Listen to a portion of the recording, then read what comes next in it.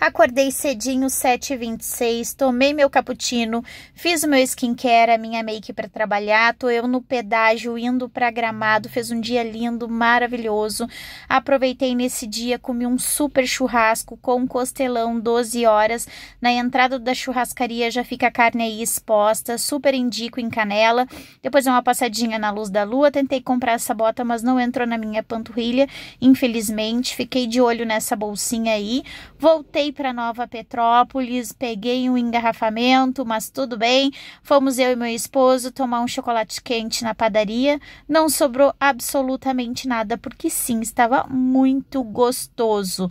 Depois a gente deu uma passadinha no supermercado, no Andreasa, que é uma novidade que tem em Nova Petrópolis. Fomos prestigiar o Festival do Folclore, estava super legal, tinha muita dança e encerramos o dia com um fogo na lareira e um vinhozinho.